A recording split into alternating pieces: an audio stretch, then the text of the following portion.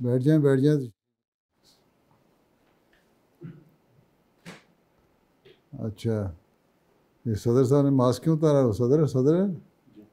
जी हुजूर बात करने के लिए उतारा होता बात करने बा, मास्क के समेत बात हो सकती है। औरतें कर सकती हैं मर्द क्यों नहीं कर सकते? जी हुजूर। अच्छा अच्छा अब क्या प्रोग्राम है आपका? जैसे हुजूर फरमाए वरना हुजूर मुजवजा प्रोग्राम एक है। अच्छा बैठे कहाँ हुए हैं इस वक्त आप लोग? हुजूर ये अलमेरे मस्जिद के पास एक इवेंट सेंटर है वो किराए पे लिया हुआ है। अच्छा तो अपना इलाके में कोई जगह नहीं थी? हुजूर जो हमारी मसाजिद के जो हॉल्स हैं वो इतने बड़े नहीं थे कि कोविड के साथ एक बड़ी तादाद खुदाम की बुलाई जा सकती कोविड के मेजर्स के साथ।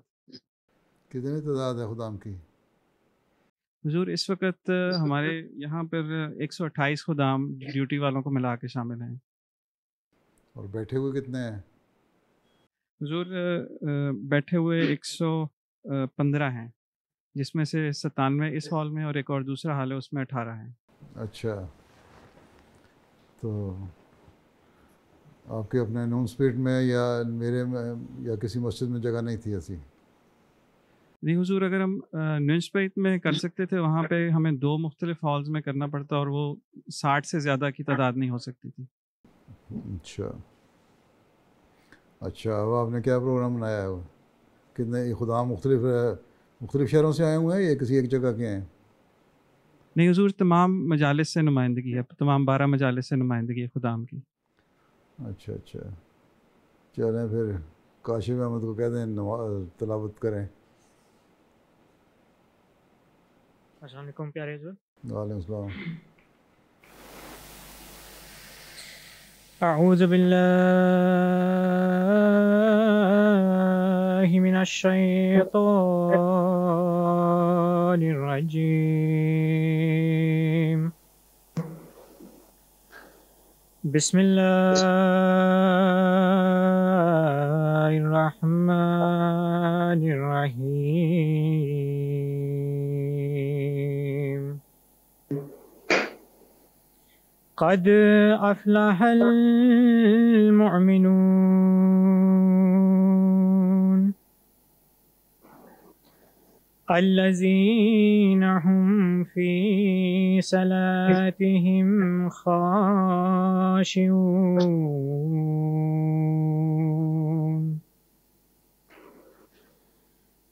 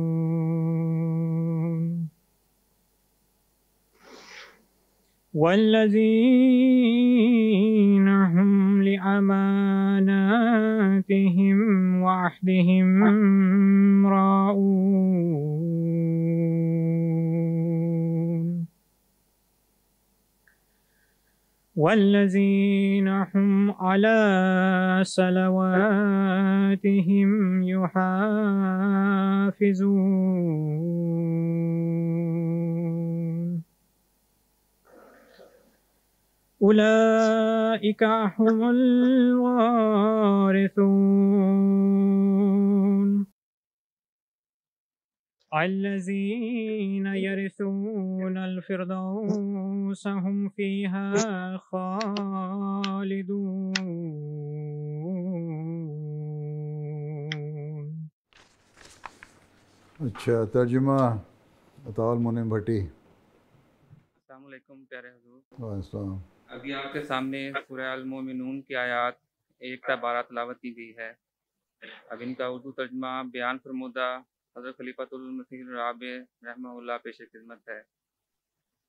मैं शैतान निराजीम से अल्लाह की पनाह में आता हूँ। अल्लाह के नाम के साथ जो बेइंतहा रहम करने वाला बिन मांगे देने वाला और बार बार रहम करने वाला है।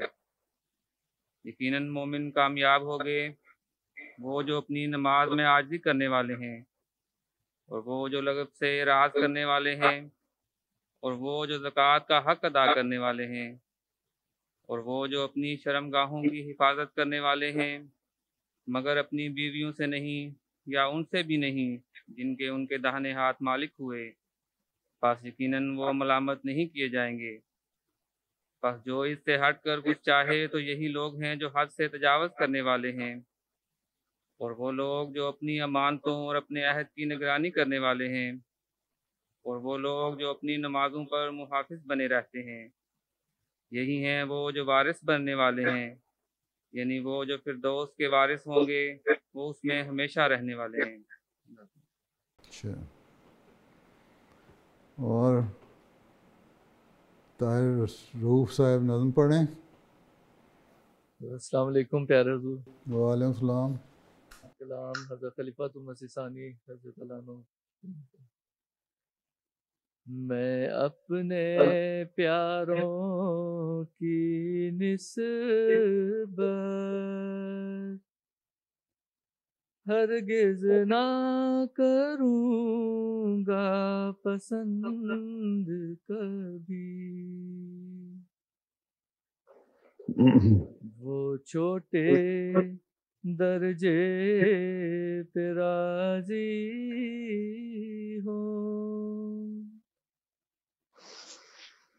वो छोटे दर्जे पे राज़ी हो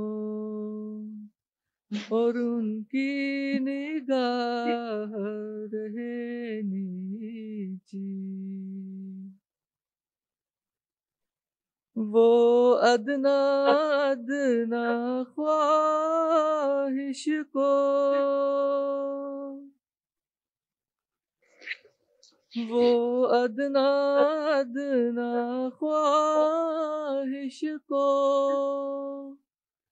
मकसूद बनाए बैठे हो।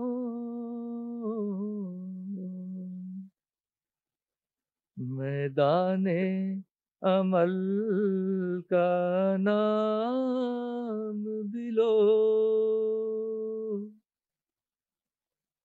मैदाने अमल का नाम बिलो। तो झीपते हो घबराते हो।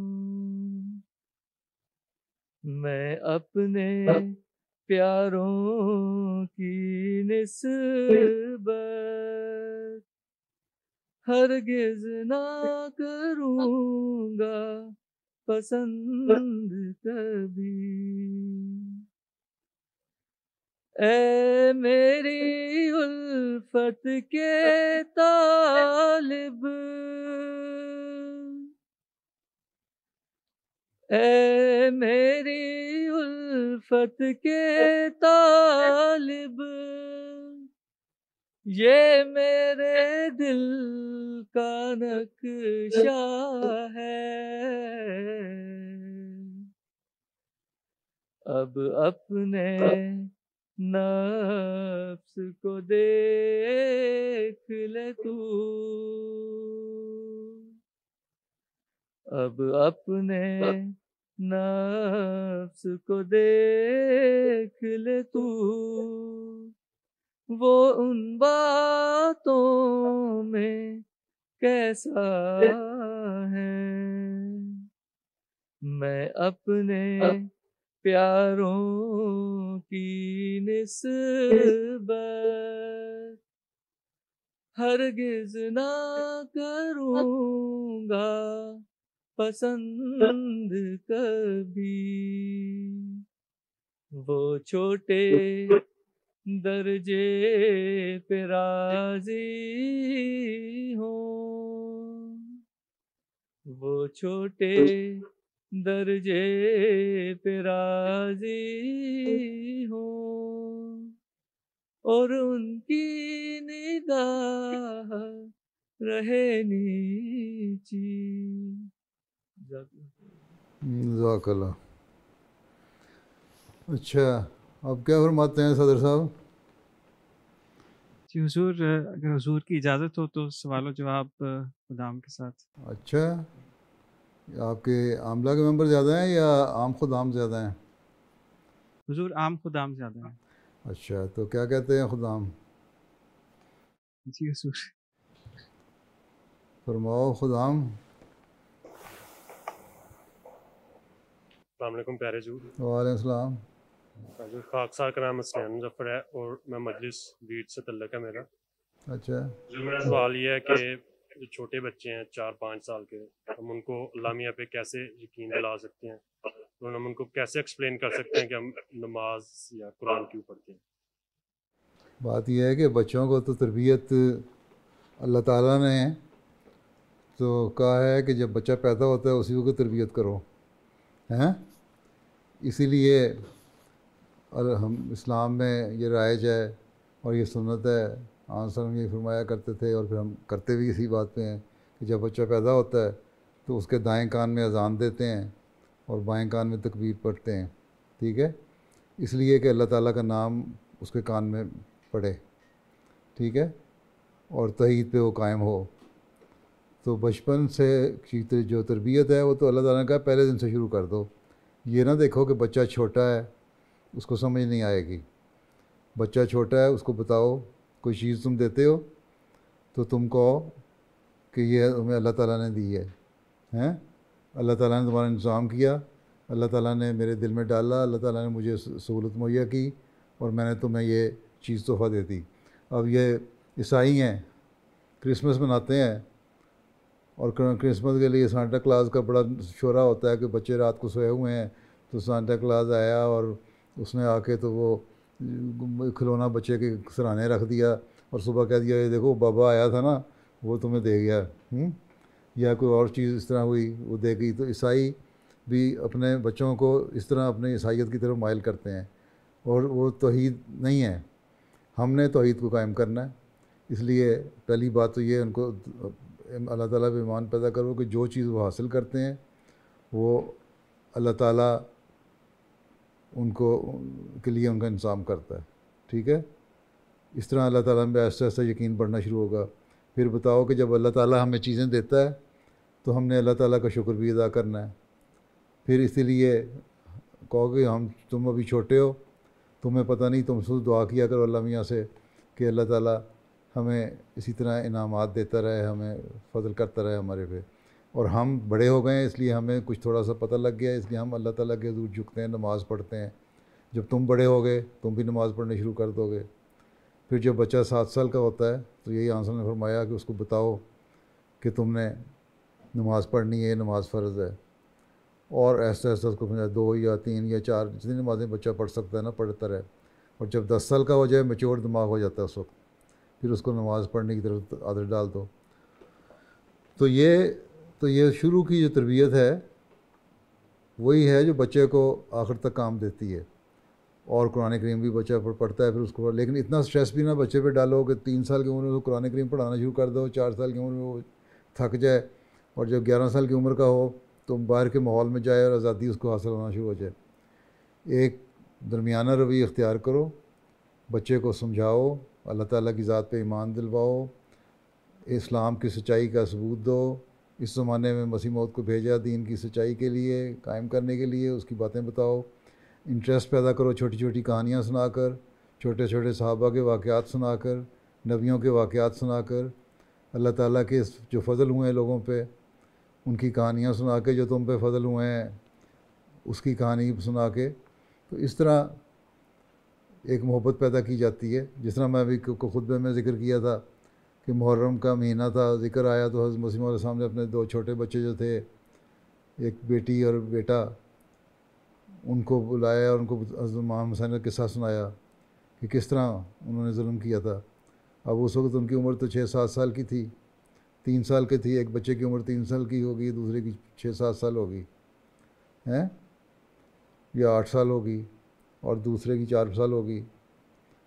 क्योंकि मिर्ज़ा मुबारक अहमद तो छोटे ही थे जब वो फौत हो गए थे, आठ साल की उम्र में। हैं? तो उनको कहानी सुना के तो उस वक़्त हज़रत इमाम हुसैन के बारे में मोहब्बत पैदा की दिल में। तो इस तरह की छोटी छोटी कहानियाँ सुना के वाक़ सुना के करना चाहिए। इसलिए देखो आजकल दुनिया में मॉडर्न तरीका ही, बच्चों की कहानियाँ बनाई जाती हैं। कहानियाँ सुनाई जाती हैं उनको पढ़ने का शौक़ पैदा करने के लिए। फिर झूठी सच्ची कहानियाँ बना के उनको ले जाते हैं। कोई वो पोगा मैन कोई बच्चा कह रहा होता है तो कोई रेंजर कह रहा होता है तो कोई बिल्डर की कहानियाँ सुना रहा होता है। वो क्या, रेंजर भी बच्चों की आजकल टीवी प्रोग्राम जैसे आते रहते हैं। इस तरह के बहुत सारे प्रोग्राम हैं। कोई लड़ाइयाँ झड़ाइयाँ दिखा रहे होते हैं तो वो ऐसे बच्चे उसी तरह की हरकतें करने लग जाते हैं। तुम लोग अच्छे अच्छे प्रोग्राम बना के दिखाओ, इसलिए बच्चों के प्रोग्राम भी अच्छे शुरू किए हैं। एम टी ए जर्मनी ने अच्छे प्रोग्राम बनाने शुरू किए थे बच्चों के, उसमें बहुत सारे बहुत अच्छे प्रोग्राम तरबियती होते हैं। वो दिखाने की बच्चे की आदत डालो चार पाँच साल की उम्र में। तो ये एक लंबा प्रोसेस है। एक नेक नीयती से माँ बाप तोज्जो से करते रहें, बच्चों को समझाते रहें, दीन की तरफ़ लाते रहें तो फिर दीन से वो अटैच हो जाएँगे, फिर खुदा ताला की तरफ़ रुझान भी आएगा, फिर नमाज़ों की तरफ़ तोज्जो भी होगी। लेकिन ये कह देना नहीं, बच्चे को छोड़ दो, बड़ा होएगा तो आप ठीक हो जाएगा, पंजाबियों की तरह। ये नहीं काम चलेगा। अल्लाह ताला ने तो हमें सबक दिया कि पहले दिन से तरबियत करो। इसलिए बड़ा होकर ठीक हो जाएगा वाली का बात कोई नहीं है। बच्चे की तरबियत साथ साथ करो उसकी उम्र के लिहाज से और अपने नमूने दिखाओ। ठीक है? समझ आ गई? कि नहीं? चलो फिर बैठ जाएँ समझ आ गई तो। वालेकुम। सलाम Uh, my name is Moomin van der Steen. I'm from Rotterdam. And uh, my question is uh, about gender neutrality. We see that uh, that there is more and more going on about this in the media, in shops, and even on schools. So how should we tackle this yeah, problem, and how should we safeguard our children from this? To see, there are some people who are born transgender, right? And uh, that was the weakness which is within them since birth and from the very childhood. So we cannot change that one. And there are some people, but when they grow up, then they should be treated equally. But there are some people now who live, for instance, boys who live with the girls or they spend most of the time with the girls and uh, they try to change their gender and want to be girl. That is, in Islam, it is not, it is not correct. Because uh, then they, they should be taught that Allah Ta'ala has made you a male, so you should be male. And uh, you see, in present day world, in this modern world, we see that if a boy says that I want to change my gender and want to be girl, then they get themselves operated or they get some injections or some hormones or something like that. So that changes the hormones they have in their body. But that cannot change their uh, physical feature. If, uh, if they have the male organ, that will remain there, despite the fact that mentally they have made themselves or behave like girls, but despite that, their their physical features are the same as the boys. So Islam says that Allah Ta'ala has given you some qualities. If you are a male, then you remain male. If you are a female, that you remain female. But those boys who are born males and try to change their uh, gender because of the influence of the environment they are living in, then it is not correct in Islam. So we should teach our children that Allah Ta'ala has made you boy, so you should be boy. If Allah Ta'ala has made you girl, then you should be girl. And uh, for as far as uh, those uh, people are concerned who are born transgenders, that is their different case. See, they behave in a different way. And we should give them their due rights when they, are, they, when they grow up. Right? वालेकुम प्यारे हजूर मेरा नाम जरान हामिद भट्ट है मैं हार्डरवाइक में रहता हूँ और मेरा सवाल है अगर कोई वक्फ करना चाहता है तो आप कौन सा मशवरा देंगे? किस तरह वक्फ करना चाहता है?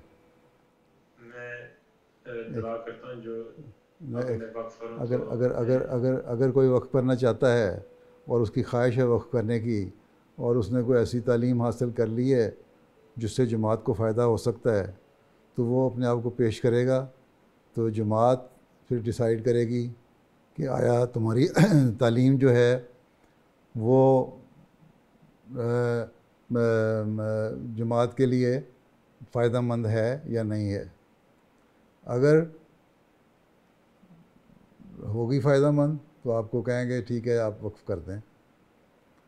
अगर नहीं फ़ायदा मंद तो आप कहेंगे आपने वक्फ़ किया, अल्लाह ताला आपको अपनी नीयत का सवाब दे दे।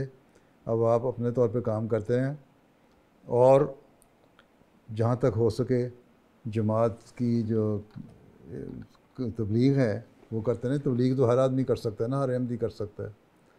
तो जमात का पैगाम पहुँचाते रहें और जमात के वॉल्टियर काम जो है दूसरे शोबों में जिस जिस शोबे में आपको मौका मिलता है करने का, वो करें। ठीक है? ठीक है ना? ठीक सलाम हमें ज़रूरत है डॉक्टर्स की। अगर आप डॉक्टर हैं तो हम कह देंगे, ठीक है, वक्फ़ करो। हमें ज़रूरत है टीचर की। अगर आप टीचर हैं तो हम कहेंगे, वक्फ़ करो। और अगर बाज़ जगहों पे आर्किटेक्ट की या कुछ और दूसरे शोबों की ज़रूरत है, उनके बारे में भी कहा जा सकता है। पैरामेडिकल स्टाफ है, इसी तरह और बहुत सारी बातें हैं। तो ये तो डिपेंड करता है कि वक्फ़ करने के साथ साथ जमात को क्या ज़रूरत है। E? Pero. That's all. My question relates to uh, Nuwabain who are uh, married and have children. Uh, how can we safeguard them from uh, bad uh, influences of the non-Ahmadi family while also keeping their rights in uh, mind? You see, as I have already told you, that uh, you should brought up your children in a way which is Islamic way from the very childhood. And you can tell your children that since they are Ahmadis and uh, who are Ahmadis, they should, Ahmadis are those who have accepted the Imam of the age, the Prophet Messiah Islam, and his coming was foretold by the Prophet of Islam, Hazrat Muhammad Rasulullah. So we believe that that person who was to come in the latter days has come in the person of Mirza Ghulam Ahmad Qadian, whom we believe as promised Messiah and Mahdi alayhi Islam. So this is our difference. This is the difference between us and our other relatives who are although Muslims, but not following the Imam of the age. So if you are telling them from the very beginning, teaching them well about the teachings of Islam and Ahmadiyyat, then they will know. But at the same time, tell them, since they are your relatives, your elders, you are close, you have, they have some close relations with them, so they should also respect them. But as far as the religion is concerned, they should strictly practice their or hold their own religion. Right? So this is, this is, the, this is the teaching of the parents. This is the, this is the training of the parents. How do you train them? ठीक right Hmm. but at the same time at the same time when you feel मैं पहले का जवाब दे रहा हूँ when you feel that uh, the, your relatives are uh, trying to influence your children and uh, trying to deviate them from the, uh, the teachings of Ahmadiyyat and uh, you, you fear that they may go astray because of uh, the company of those relatives, then you should try to avoid too much mixing up of those relatives who are influencing your children in a bad way. Right? Uh, मेरा नाम सैयद आसिम अदनान है और मैं मजलिस then हाक से हूँ मेरा सवाल है कि हज़रत मसीह मऊद अलैहिस्सलाम की कुतुब का मुताल करने के लिए कौन सा तरीका अपनाना चाहिए बात यह है कि आप लोग मुस्तकिल मिजाजी से मुताल तो कर नहीं सकते और थोड़ी देर बाद थक जाते हैं कि टॉपिक बड़े संजीदा होते हैं। इसलिए शुरू में दिलचस्पी पैदा करने के लिए अगर उर्दू पढ़नी आती है आपको तो मिर्ज़ा ग़ुलाम अहमद कादियानी अलैहिस्सलाम जो मुख्तलिफ़ टॉपिक्स के इकतबास इकट्ठे किए हुए हैं ना, किताब में मीर दाऊद अहमद साहब की किताब है, उसमें बाद में और भी ऐड हो रहे हैं। वो या अंग्रेज़ी में एसेंस ऑफ़ इस्लाम है, हुँ? इसमें मुख्तलिफ़ टॉपिक्स हैं।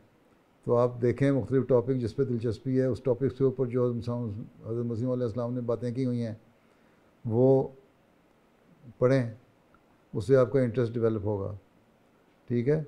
या मलफूज़ात उर्दू पढ़नी आती है तो मलफूज़ात ले लें, या एक दो तर्जमे वॉल्यूम्स के तर्जमे अंग्रेज़ी में भी हो गए हैं, जिनको अंग्रेज़, उर्दू नहीं आती। वो देखें इंडेक्स पे देखें जाके कि मुख्तलिफ़ टॉपिक्स की बातें हो रही हैं। जो टॉपिक आपको इंटरेस्ट का लगता है, उसको पढ़ें। वहाँ से आपको इंटरेस्ट डेवलप होगा किताब में पढ़ने का। ठीक है? और जब इंटरेस्ट डेवलप हो जाएगा तो फिर आहिस्ता आहिस्ता आपको बड़ी किताबें पढ़ने का भी शौक़ पैदा होगा, लेकिन छोटी छोटी किताबें जो है ना, वो ज़रूर पढ़नी चाहिए। किश्ती हुए, आपको पता लगे आपकी तालीम क्या है, आपका मकसद क्या है, हैं? फिर ये गलती का इजाला है, आपको पता लगे हज़रत मुस्लिम का मुकाम, मरतबा ज़रूरतमाम है, हैं? चश्मा मार्फत है हकीकत वही है हुँ? तो ये चीज़ें पढ़ें तो इससे भी तबलीग के भी काम आते हैं, तरबियत के भी काम आते हैं। ठीक?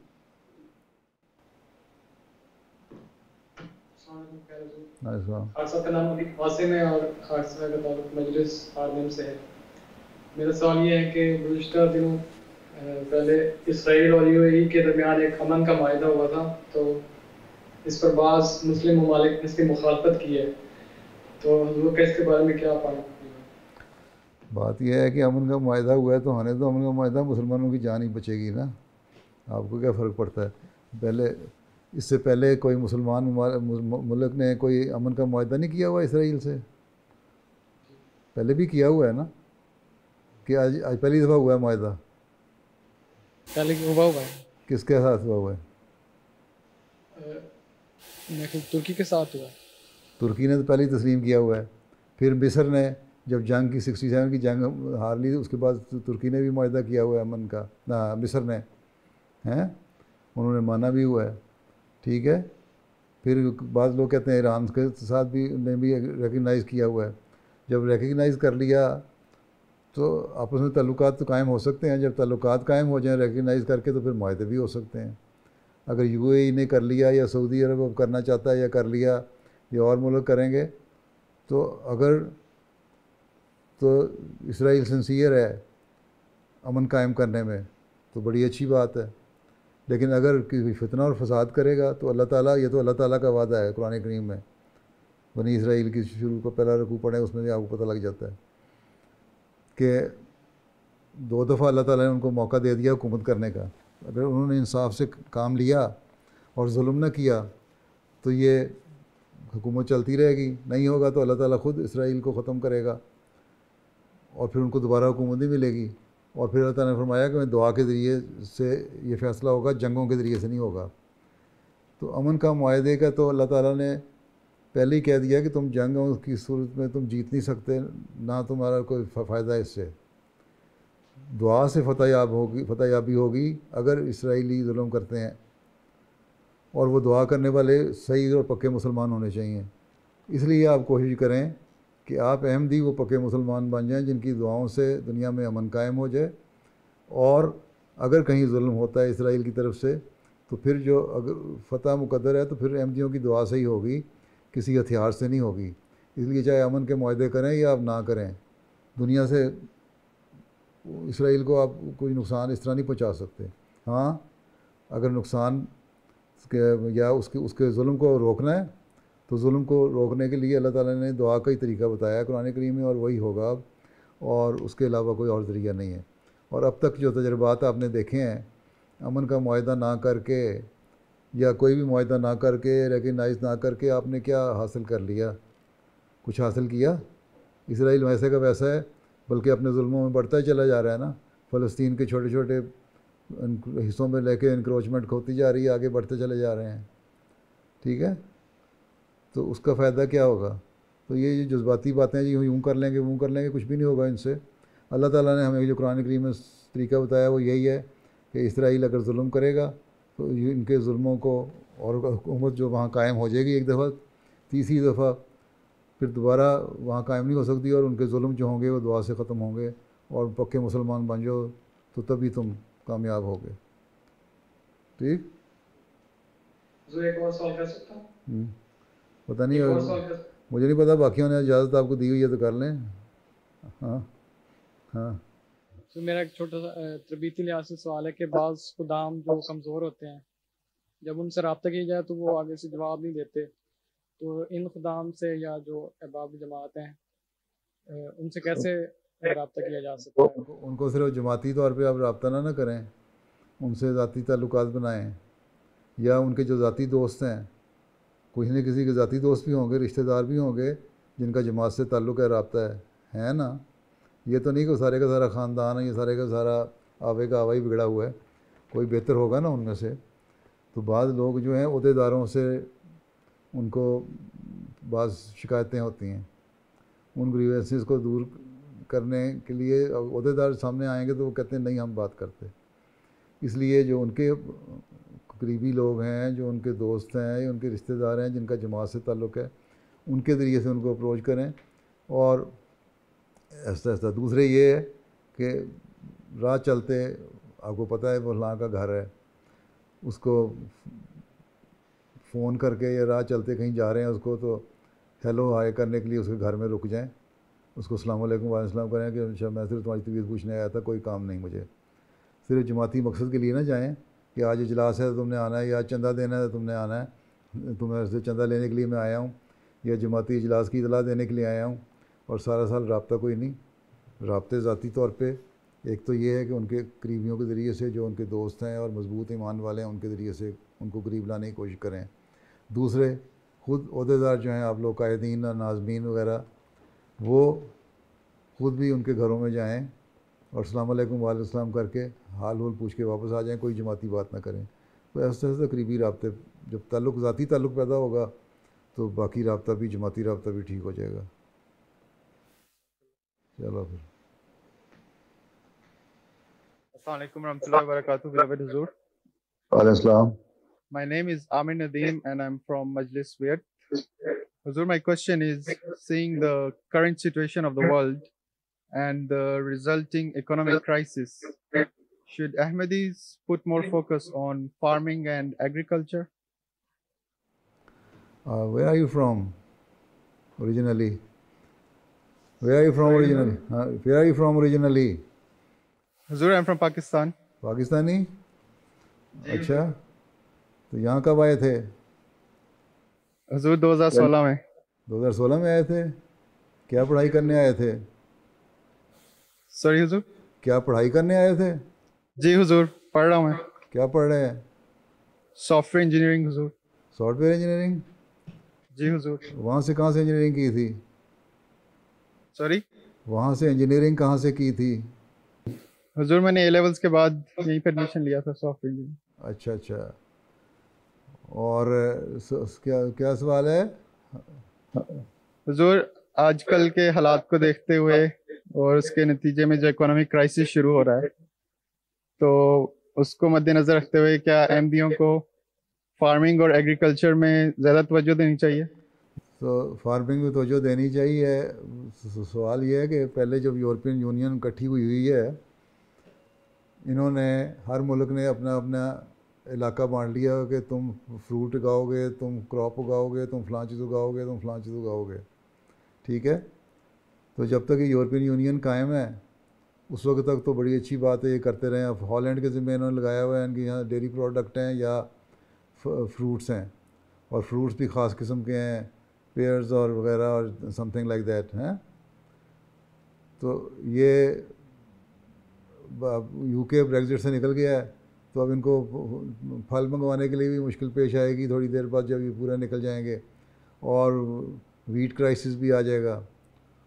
तो इन्होंने, इनको मुश्किल पेश आएँगी, इसलिए यूके के लिए तो ज़रूरी है कि एग्रीकल्चर पर फोकस करें और ज़्यादा इसको डेवलप करने की कोशिश करें।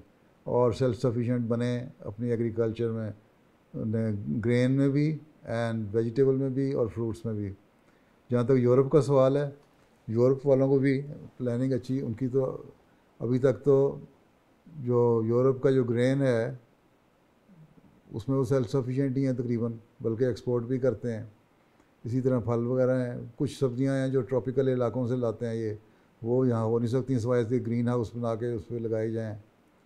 तो इकोनॉमी को, जो, और फिर आगे आगे जो जो हालात आने हैं, उसमें पता नहीं इस तरह, हुकूमतों मुल्कों से रबते भी रहते हैं कि नहीं सही तरह। और, इसलिए बेहतर यही है कि अपने मुल्कों की पैदावार के लिहाज से वो करें। अगर यूरोप एक रहेगा तो ठीक है कल को कोई यूरोपियन मुल्क भी निकलता है यूरोपियन यूनियन से, फिर उसको मुश्किल पड़ेगी जिस तरह इंग्लिस्तान को मुश्किल पड़ रही है। इन्होंने रशिया की पॉलिसी पे, रशिया जब था इकट्ठा, रूस, उस वक़्त उन्होंने बनाया होता कि फ़लाँ स्टेट में गंदम उगेगी, फ़लाँ में कॉटन उगेगी, फ़लाँ में फ़लाँ क्रॉप उगेगी, फ़लाँ में फ़लाँ क्रॉप होगी। और जब टूट गए तो फिर उनको मसाइल पैदा हुए उनकी स्टेट्स को भी। और इसलिए कोशिश ये करनी चाहिए कि इकट्ठे रहें। और अगर कहीं चांसेस पैदा होने का इम्कान है तो जो पॉलिटिशियंस हमारे हैं, उनको ये सोचने से पहले कि हमने अलहदा होना है। अपने लोगों की जो स्टेपल फ़ूड है, उसको मुहैया करने के लिए भी पहले सोचना चाहिए कि किस तरह हमारी मुहैया करेगी और उसके लिए प्लानिंग होनी चाहिए। बगैर प्लानिंग के छोड़ दें तो फिर वो हाल होता है जो अब यूके का होने वाला है। ठीक है? लेकिन बहरहाल क्राइसिस जंगों के आए या ना आए, जो तो प्रोडक्ट आपकी पैदा होती, जो प्रोड्यूस एग्रीकल्चर प्रोड्यूस वहाँ फ़ार्मिंग वहाँ है यूरोप में, वो तो आपको मिल जाएगी। जो नहीं है, जो बाहर से मंगवाते हैं, वो बाहर से आगे मतलब राइस जो है राइस अगर ना भी खाएँगे तो आपको फ़र्क नहीं पड़ता, लेकिन राइस जो है, वो बाहर से ही आता है, आमतौर पर ट्रॉपिकल मुल्कों से। तो बाकी कॉर्न और वीट वगैरह हैं, ये खाने के लिए मिल जाएँगी। इस पर सारे मुल्कों को, सारे यूरोपियन यूनियन के मुल्कों को देखना चाहिए, बैठना चाहिए, गौर करना चाहिए कि हमारे सारे यूरोप की, जो हमारी यूरोपियन यूनियन में शामिल हैं, छब्बीस सताईस मुल्क, इनकी रिक्वायरमेंट क्या है? और उस रिक्वायरमेंट के हिसाब से हमारी प्रोड्यूस क्या है हर साल की, मुख्तलिफ़ ग्रेन्स की? और उस प्रोड्यूस को हमने किस तरह मज़ीद बेहतर करना है? तो इस लिहाज से ठीक है आपकी बात, कोशिश करनी चाहिए। लेकिन अगर जंग ऐसी होती है, अगर इस, इसके बाद फिर क्राइसिस आता है और क्राइसिस के बाद जंग होती है तो उसमें पता नहीं अगर कहीं किसी ने पागलपने में एटम में इस्तेमाल कर दिया तो ना वहाँ एग्रीकल्चर रहनी है, ना वहाँ कुछ और चीज़ रहना। तो इसलिए अल्लाह ताला ही रहम करे फतल करे, ये भी दुआ मांगे कि अगर कोई जंग होनी है तो ट्रेडिशनल वेपन से ही हो। कोई ज़्यादा लीथल वेपन इस्तेमाल में एटॉमिक वेपन इस्तेमाल ना हो जाए जी sir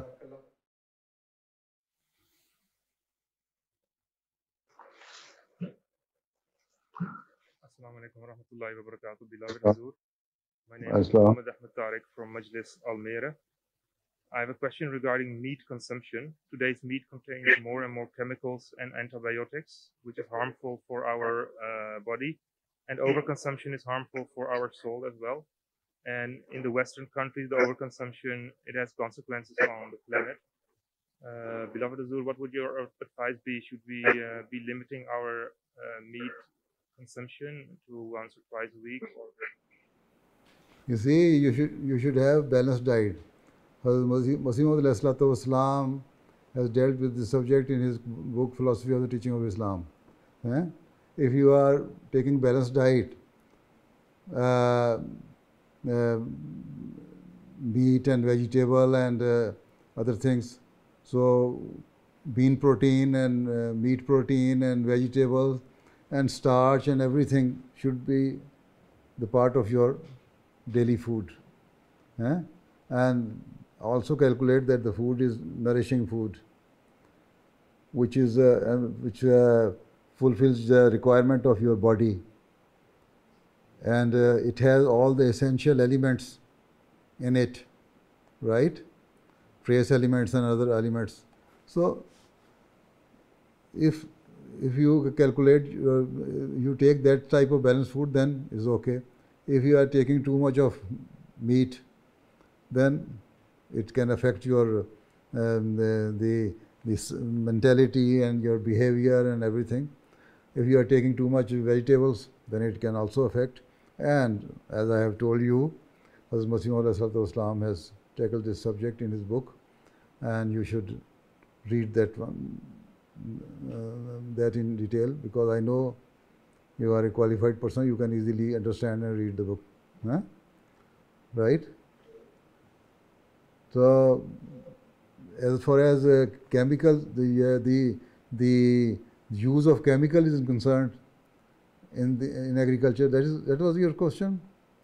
Why, Yes, if, sir. if, if if they are using chemical, then uh, you see nowadays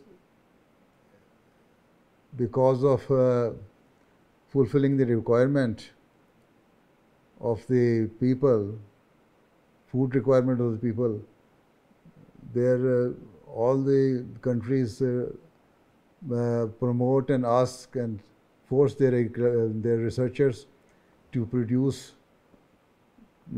food in a, a better way or in or in bulk, so that they can meet the requirement of the food of the people of the country, or in European Union, the, the whole of the European Union at large, right?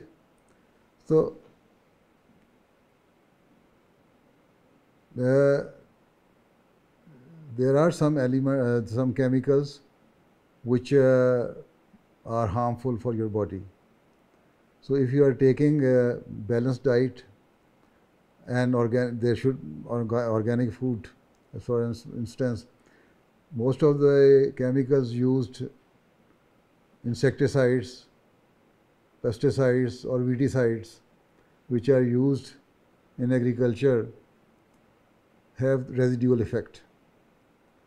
So when you eat the food, then it settles in your body tissues. To remove those residues from your body tissues, you better take vitamin E. And for the best way of taking organic vitamin E is to take uh, organic uh, um, um, uh, green leaf vegetables like spinach and some uh, lettuce and so, sort of things. They help you remove the uh, the the, the poisonous matter settled in your body tissues. So this way you should, yes, of course, take balanced food and at the same time uh, try to uh, eat more organic food instead of taking just the, that food which is too much uh, um, um, which has had too much of uh, chemicals in it. eh? For instance, cereal cereals, corn and wheat and some, some even rice in the tropical third world countries, they are um, uh, you see the chemicals are being used on them in in uh, uh, sometime in, the, in too much quantity, and that affects the body of a human being as well. And when and sometimes indirectly also when the fodder or the green food is giving to the, the plants or the grass is, uh, uh, is being uh, given to the, the animals and you take the meat of those animals or drink the milk of milching animals, then it also affects you. So indirectly. So the better way is that governments should take measures to use less chemicals, especially pesticides, insecticides, weedicides, and if possible, less fertilizers also, use more organic fertilizer, and at the same time, the organic food should also be part of your daily food. Huh? Those who can afford it, they should take, although I know organic food is quite uh, expensive, but those who can afford it, they should use it. Right? ठीक है तारक साहब बैठ जाओ।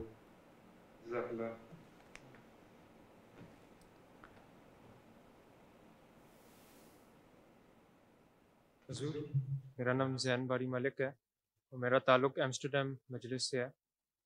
हजूर मेरा सवाल है एक खादिम को कौन से काम कम अज़ कम रोज़ाना करने चाहिए?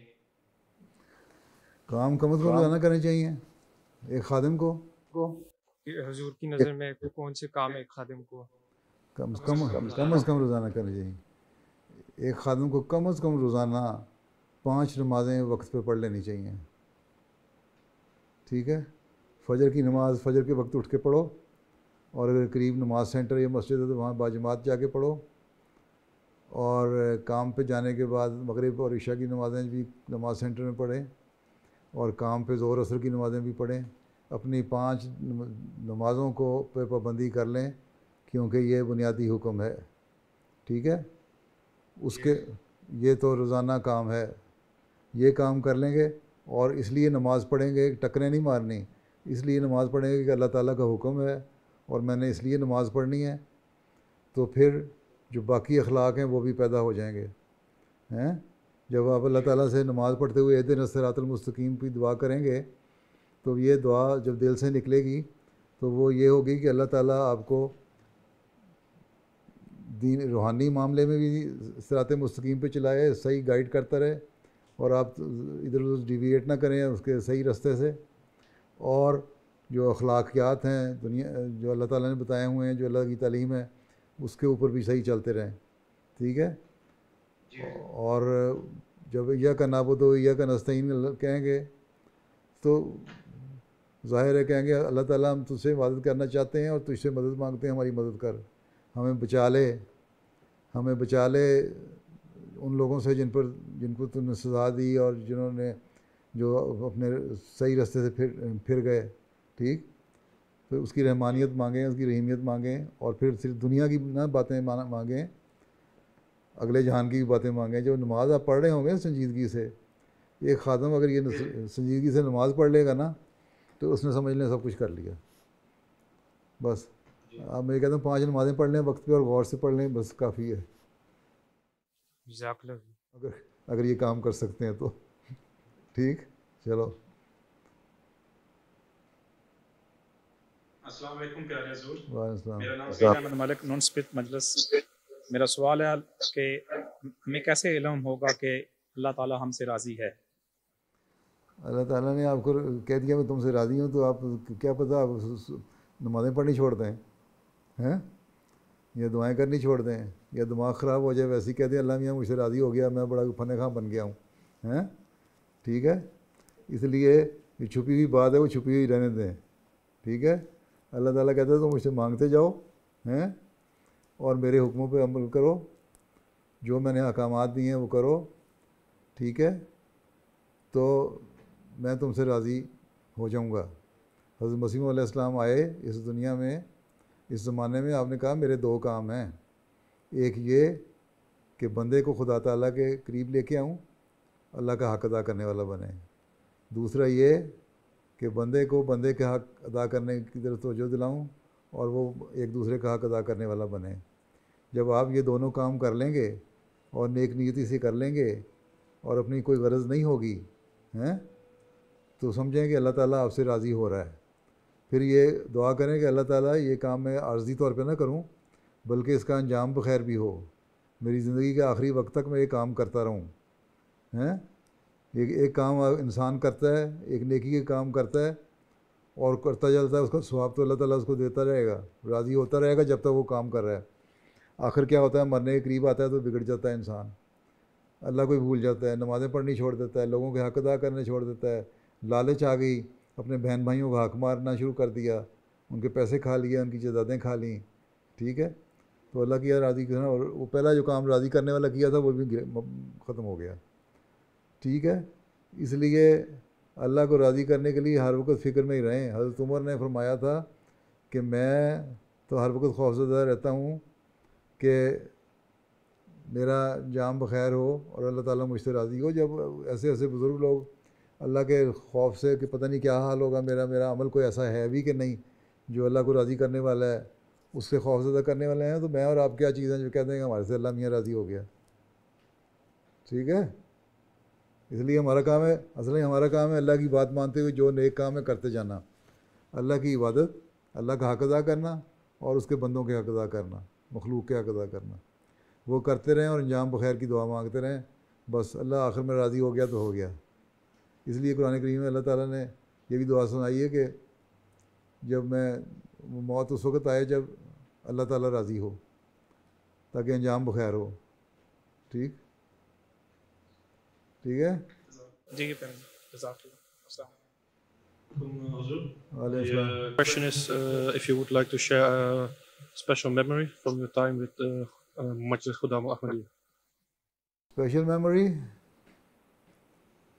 Uh, I, I cannot just tell you just offhand my special memories, but uh, there are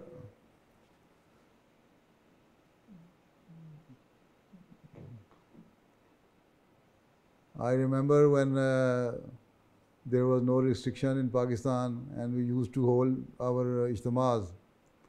Eh? And uh, at that time, when, when we would uh, hold our ijtimas, we used to do camping. Every group or khadam will have their own tent, and then that tent is made of of, uh, of, uh, of uh, your, your bed sheets, not a proper tent as you find here. So with the help of the bed sheets, we used to uh, erect our tents, right? And um, that was very special moment. Everyone was very much excited from the, from very childhood, even when we were at Fal, we used to erect our tents. So we know that now, now we have three days camping here and we shall live in that premises where Ijtama is going to be held and uh, we used to live there. Ijtama, was, the premises was also there, Ijtama and uh, that was a very excited moment when every, every year we will, would wait for Ijtama so that we can do camping eh, outside and enjoy our Ijtama. That was one of the moments which I, I, I liked very much. Right?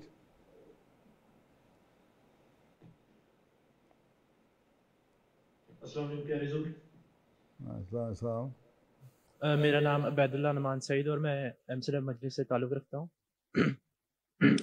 हजूर आजकल हम देखते हैं कि शराब cigarette और drugs का इस्तेमाल बहुत की ज़्यादा बहुत आम है और ओपन और बाज़ दफ़ा ये भी पता चलता है कि हमारे नौजवान अपने दोस्तों को देख के इस चीज़ को इस्तेमाल करना शुरू कर देते हैं। तो हम अपने नौजवानों को इस चीज़ से किस तरह दूर रख सकते हैं? और जब पता चले कि कोई इस्तेमाल करता है तो हम इसको, उनको इस चीज़ से कैसे बचा सकते हैं? जहाँ तक सिगरेट का सवाल है, सिगरेट तो पाकिस्तान में भी इस्तेमाल होता है, यहाँ की सोसाइटी का सवाल नहीं है। पहले वहाँ देहातों में भी हुक्का इस्तेमाल होता था। और जहाँ तक सिंपल तम्बाकू पीने का और हुक्का हुक्का पीने का और सिगरेट पीने का सवाल है वो तो एक नॉर्मल वहाँ चीज़ है। हज़रत मसीम ने इसको नापसंद फरमाया लेकिन हराम नहीं करार दिया। लेकिन साथ जब सिगरेट के अंदर आप थोड़ा सा पाउडर डाल लेते हैं या शीश डाल लेते हैं या कोई और ड्रग डाल देते हैं जिससे एडिक्शन ज़्यादा होती है वो चीज़ें मना है। ठीक है? और यहाँ क्योंकि खुली सोसाइटी है ये इनका इनका नज़रिया ये है इस, इस इनका आर्गूमेंट ये है कि जी, जब हम फ्री सोसाइटी में इसको करेंगे तो बुराई कम फैलेगी। इसलिए यहाँ पीने दो। हॉलैंड में, एम्स्टर्डम में, फ़लाँ जगह, राउंड अबाउट पे स्केयर्स में जाओ तो वहाँ बैठे नशे कर रहे होते हैं लड़के। नौजवान भी और बूढ़े भी, हैं? तो इसलिए इनको दे दो। उसकी देखा देखी इनको भी आदत पड़ जाती फिर स्कूलों में लोग नशा ले आते हैं। वहाँ से इनको आदत नौजवानों को पड़ जाती है। तो ये तो घरों वालों का काम है ना, शुरू से ही तरबियत करना, जो मैं पहले भी कह चुका हूँ। कि बचपन से ऐसी तरबियत करें कि हमने इस माहौल से बचना है, इन बुराइयों से बचना है, बच्चों को बचा के रखें, वालदेन बचा के रखें। अगर बाप सिगरेट पी रहा है तो बच्चा कहेगा अच्छा बाप मेरा सिगरेट पी रहा है तो मैं तो थोड़ा सा पाउडर डाल के भी सिगरेट पी लूँ तो कुछ नहीं होता। हैं? तो ये बहुत बड़ी एहतियात की ज़रूरत है इन मुल्कों में। तो तरबियत की ज़रूरत है बड़े बचपन से ही, शुरू से ही। इसलिए शुरू से तरबियत करनी पड़ेगी, ठीक है? और बताना पड़ेगा इसके नुकसान क्या हैं और इससे बहुत सारी बुराइयाँ भी पैदा होती हैं, फिर शराब है, इसके नुकसान क्या हैं? अल्लाह ताला ने कुरान करीम में भी इसको मना फरमा दिया और इसके इससे नुकसान इसके बहुत ज़्यादा हैं। पहले मुसलमानों में जब तक शराब बैन नहीं हुई थी तो बाद मुसलमान हज़रत वसल्लम के सामने भी गलत किस्म की बातें कर जाया करते थे। जब ऐसी बातों के वाक़ात हुए तो फिर आंसर ने फरमा, अल्लाह ताला ने फरमाया कि ये बैन है। ये तुम्हें नशे में ना, तुम्हारे होश वास कायम कायम नहीं रहते और तुम रसूल की इज़्ज़त नहीं सही करते। तो जब शराब पीने वाला होगा या नशा करने वाला होगा, ना वो सही इबादत कर सकता है, अल्लाह की, ना वो लोगों के हक अदा कर सकता है। फिर अगर पैसे नहीं हैं तो फिर वो घरों में बच्चों को फिर चोरियों की भी आदत पड़ जाती है, बाप के पैसे चुरा लिए, माँ के पैसे चुरा लिए, बहन भाइयों के निकाल लिए, ठीक है, नशा पूरा करने के लिए। तो ये तो तरबियत शुरू से करनी पड़ेगी कि ये इन मुल्कों में ये बुराइयाँ हैं हमने इनसे बच के रहना है और हमने ना सिर्फ़ इनसे बच के रहना है, बल्कि इनकी असलाह करनी है और इनको रियलाइज़ कराना है कि ये बुराइयाँ हैं। अब बाज़ जगहों पर रियलाइज़ करने भी लग गए हैं। अब यहाँ भी जब खुले हैं लॉकडाउन खुला है तो उन्होंने शराब की इजाज़त जब दी है बाज़ जगहों पर मुल्कों में तो उन्होंने ये कहा कि इससे ज़्यादा शराब नहीं पी सकते या फ़लाँ किस्म की शराब से ज़्यादा नहीं पी सकते, उसका नशा कम है। इसका मतलब रिस्ट्रिक्शन इन्होंने भी लगानी शुरू कर दी है रियलाइज़ कर लिया फिर ड्राइविंग करते हुए कहते हैं शराब नहीं पी सकते। इसका मतलब आदमी सेंसेस में रहता ही नहीं, तभी तो ये बना है चीज़ें। ठीक है? तो ये चीज़ें बचपन से भी बच्चों को समझानी शुरू कर दें तरबियत करें तो ठीक हो जाएगा। चलो, बैठ जाओ। अल्लाह हाफिज़ हो। एक घंटा आपका पूरा हो गया है। और सदर साहब, खुद आप बाकी सवाल जवाब अब ख़त्म। वक्त आपका ख़त्म है, इसलिए अल्लाह हाफिज़ हो। और अस्सलाम वालेकुम रहमतुल्लाहि सदर साहब, आपका क्या कहते हैं? जी जजाकमल्ला हजूर हजूर के वक्त का जजाकमल्ला अच्छा आपने कहा होगा शायद पंद्रह मिनट गुजरे हैं लेकिन एक घंटे से ज़्यादा ही गुजर गया है। छः सात मिनट ऊपर। अच्छा अल्लाह हाफिज़ अलैक्म। वालेकुम रहमतुल्लाह।